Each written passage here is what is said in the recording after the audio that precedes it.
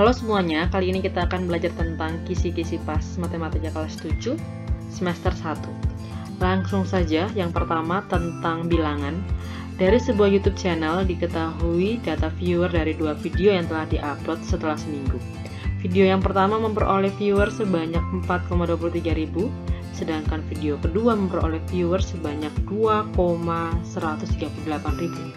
Berapakah selisih viewer dari kedua video tersebut? Kita ketahui bahwa kalau ditanya tentang selisih, maka yang besar kurang yang kecil. Jadi 4,23 kurang 2,138. Di sini 0, maka dia menjadi 10. 10 kurang 8, 2. 10 ini diambil dari sini 1, sisa 2 2 nggak bisa kurang dengan 3 maka diambil satu dari depan.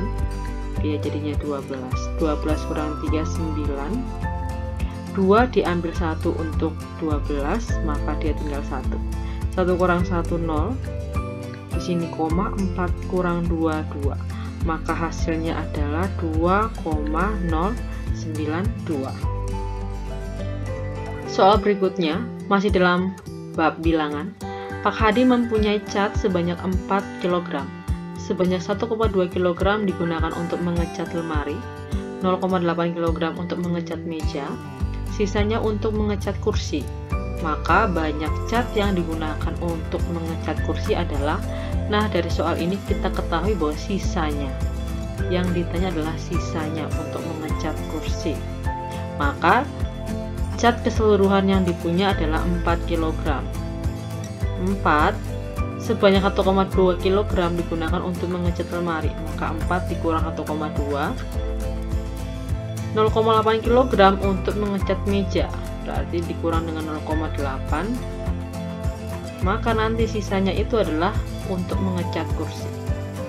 4 kurang 1,2 itu 2,8 berarti 2,8 kurang 0,8 hasilnya adalah 2,0 kg maka cat yang digunakan untuk mengecat kursi adalah 2,0 kg next soal berikutnya.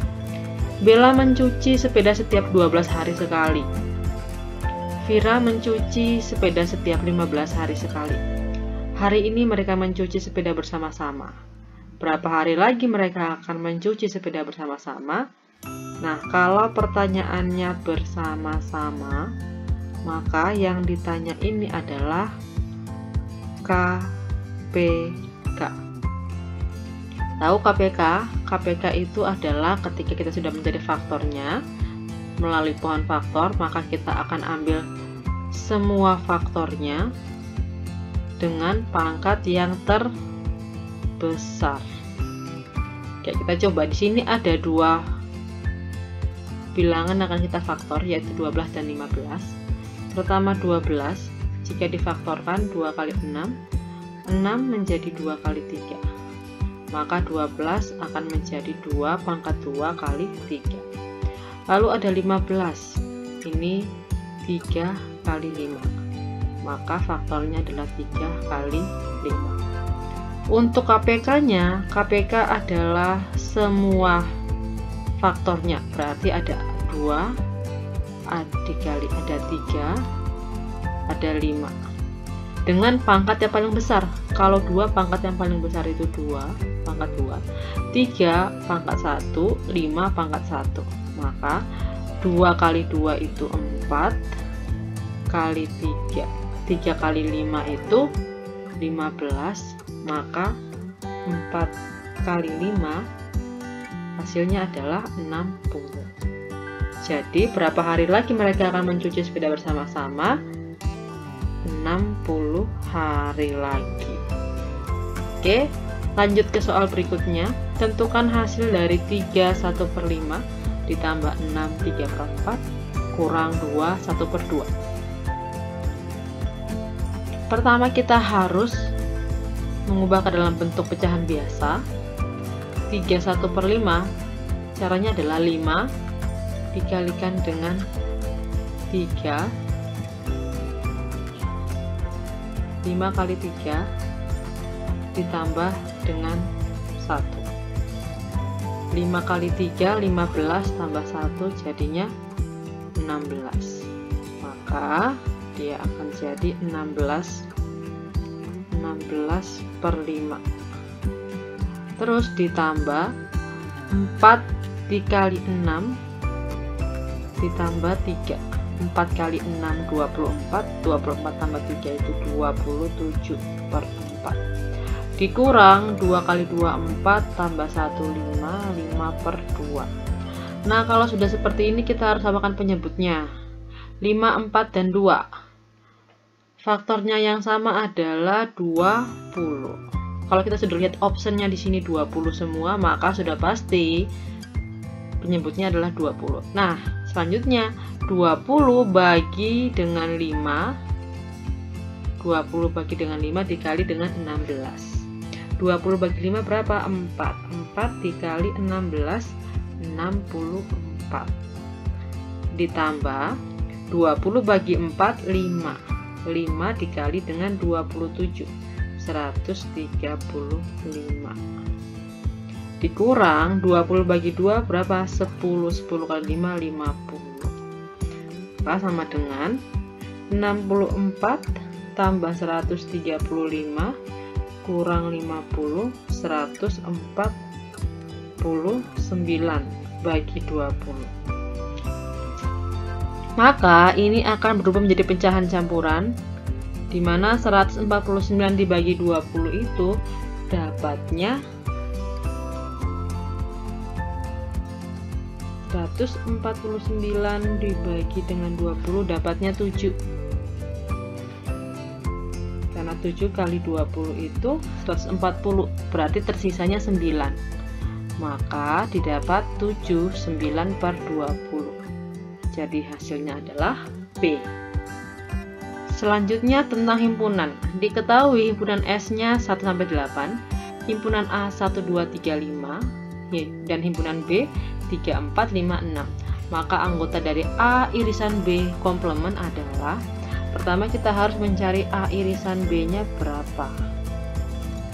Himpunannya apa? A irisan B. A irisan. Irisan artinya apa? Anggotanya yang sama jadi di himpunan A dan himpunan B anggotanya yang sama itu adalah 3 dan 5 3 dan 5 berarti A irisan B itu anggotanya adalah 3 dan 5 lalu pertanyaannya adalah A irisan B di komplement. Di komplement berarti dengan himpunan S. Jadi himpunan S kurangi dengan himpunan anggota A irisan B A irisan B ini kan 3 dan 5 berarti di himpunan semesta kita kurangin 3 dan 5 maka sisanya 1 2 4 6 7 8 nah 1 2 4 6 7 8 jawabannya adalah C. Next himpunan masih. Berdasarkan gambar di atas maka hasil dari A irisan B adalah dia di dalam diagram Venn irisan itu adalah anggota yang ada di himpunan A dan juga ada di himpunan B maka dia ada di dalam sini nah ini adalah A irisan B. Jadi yang di dalam A irisan B ini adalah 4 dan 5. Maka jawabannya adalah D. Masih dalam himpunan, dari 40 siswa kelas 7, 23 siswa gemar matematika, 8 siswa gemar bahasa Inggris, dan 4 siswa tidak gemar matematika maupun bahasa Inggris. Banyak siswa yang gemar matematika dan bahasa Inggris adalah dari Soal ini kita ketahui ada 40 siswa. 40 siswa ini adalah S. Karena total seluruh adalah itu dilambangkan dengan semesta. Jadi S-nya adalah 40. Di sini 23 siswa gemar matematika. Kita sih kita misalkan matematika ini adalah A, bahasa Inggris ini adalah B. Jadi untuk mendapatkan jawaban ini kita harus menggambar diagram Venn-nya terlebih dahulu. Oke, ada S. S di sini tadi 40 ya. Nah, lalu kita akan buat dua himpunan A dan B. Himpunan A itu matematika, jadi 23 siswa gemar matematika, maka di himpunan A kita tulis 23. Himpunan B, siswa gemar bahasa Inggris ada 18, maka di himpunan B kita tulis 18. Dan 4 siswa tidak gemar matematika empat siswa tidak gemar berarti mereka ini tidak ada di A ataupun tidak ada di B berarti dia ada di luar. Atau empat ini dapat disimbolkan sebagai A gabungan B komplement. Itu adalah 4 pertanyaannya banyak siswa yang gemar matematika dan bahasa Inggris adalah jadi kalau ditanya siswa yang gemar matematika dan bahasa Inggris itu artinya A irisan B. Nah, kita simbolkan dengan X. Oke. Nah, untuk mendapatkan X ini X ini ada di dalam anggota A dan juga ada di dalam anggota B. Maka 23 ini kita harus kurangi dulu dengan X dan 18 juga kita harus kurangi dengan X untuk mendapatkan hanya anggota B dan hanya anggota A. Untuk mendapatkan jawabannya, kita menggunakan rumus di mana D1 tambah D2 tambah D3 tambah D4 sama dengan S. D1 ini adalah A irisan B. D2 ini adalah komplement. D3 itu adalah anggota yang hanya himpunan A saja. Berarti sudah dikurangi dengan A irisan B ini. Sudah dikurangi dengan X. Dan D4 itu hanya anggota S. Hanya anggota B saja. Berarti sudah dikurangi dengan X. Sama dengan S. S ini adalah himpunan semesta atau banyak seluruh siswa di sini ada 40 maka D1 nya tadi X karena A irisan B ya ditambah D2 nya tadi 4 karena komplement. Ditambah D3 nya 23 kurang X. Ditambah D4 nya 18 kurang X. Sama dengan S nya berapa 40 nah kita akan mencari nilai X. Jadi suku yang sama kita jumlahkan. X X kurang X habis ya 0 ya. Maka dia akan tersisa min X saja. Dia akan tersisa min X saja. Jadi di sini min X 4 tambah 23 ditambah 18 hasilnya adalah